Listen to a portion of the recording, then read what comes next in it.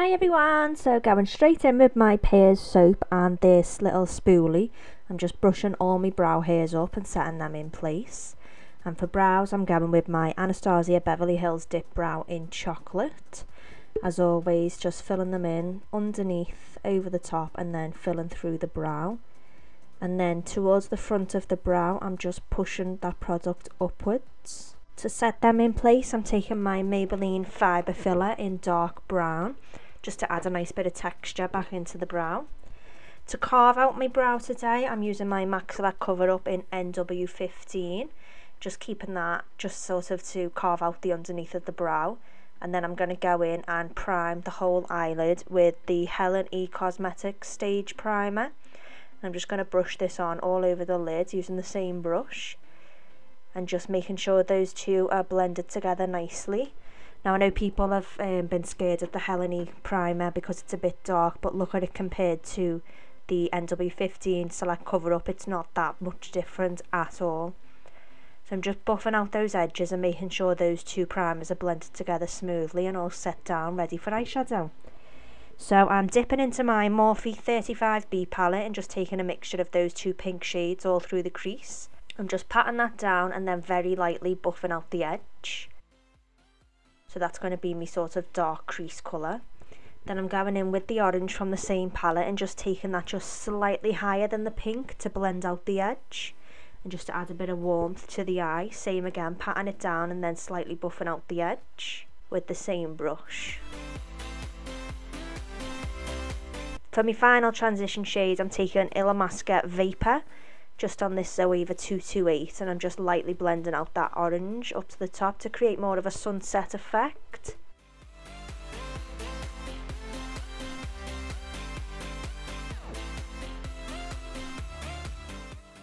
Then I'm just going to re-deepen up my pink, my first shade of pink, with the same brush that I used before and then blending it out, making sure it's all seamless and smooth.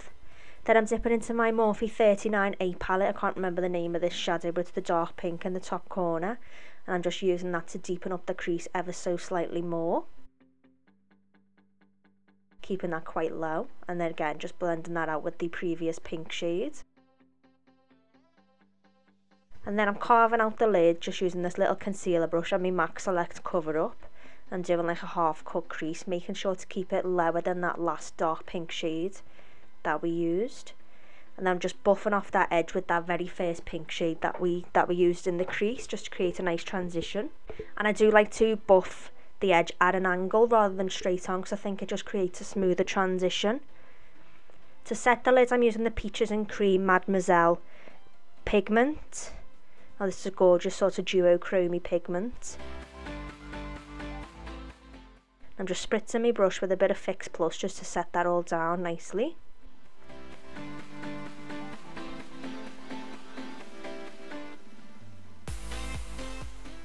Now I wanted something a little bit more sparkly, so I'm going in with my NYX glitter glue and this Helen E Cosmetics glitter in pink hologram. Now in person this glitter looked absolutely unreal. This camera just does not do it justice of how gorgeous this pink looked, this glitter. It had sort of reflex in it of all different colours, that's probably why it's called hologram, but it just looked so gorgeous with the pink and orange eyeshadows. So I'm just popping on some lashes and pinching those together with my curlers.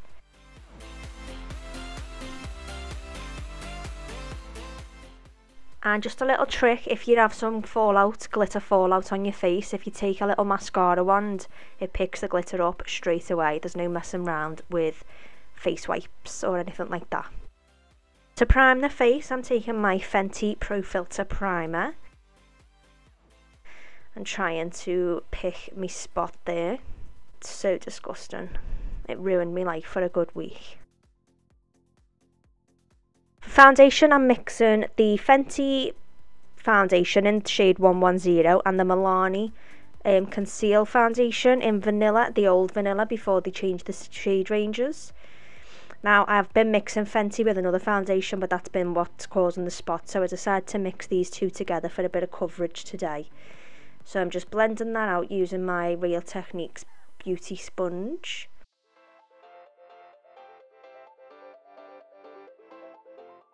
Then to prime the under eye, I saw this little trick on Katie Hayes online tutorials.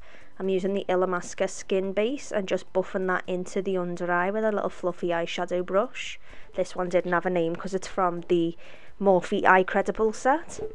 But I put a little bit too much on so I'm just dabbing away the excess and just bringing that right up to the lower lash line.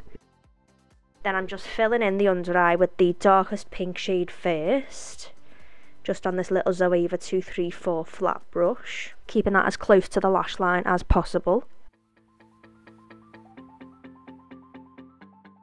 Then I'm just blending that pink out with a touch of the orange shade, the first orange shade. Then for concealer, I'm taking my Tarte Shape Tape, scraping the barrel with it, and just concealing all the regular all the regular spots, including that big mountain on my lip and just buffing all that out using my Real Techniques sponge.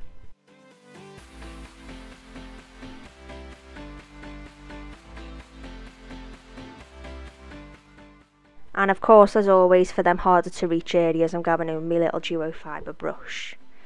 Then I'm just setting everything in place using my RCMA no colour powder. Just baking the under eye slightly and then just using the excess all over the face. For bronzer, I'm taking my MAC Mineralized Skin Finish in medium tan and just bronzing up my cheeks so I don't look like Casper's best mate anymore. Just all the usual spots, the forehead, the cheekbones and the jawline.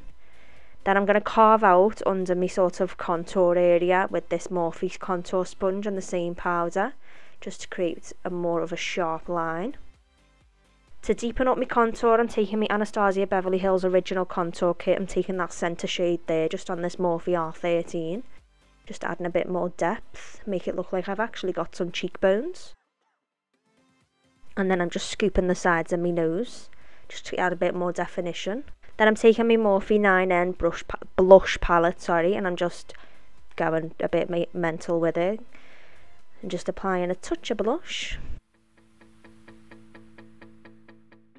I'm just brushing away my bake using this Zoeva 126 brush. See how it's just sharpened up. For highlight, I'm taking my Sleek Solstice palette. Now, I've not had this for long, but I did include it in my 2017 faves. It's just a stunning high street palette.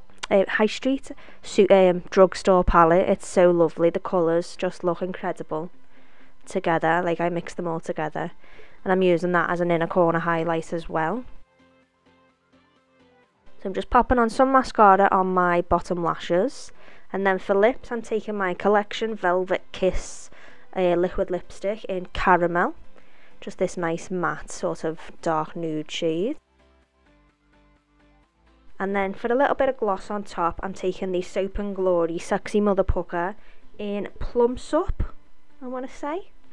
It's just one of the ones you get in the little gift set. And then to set everything in place, I'm taking my Mario Badescu spray with rose water.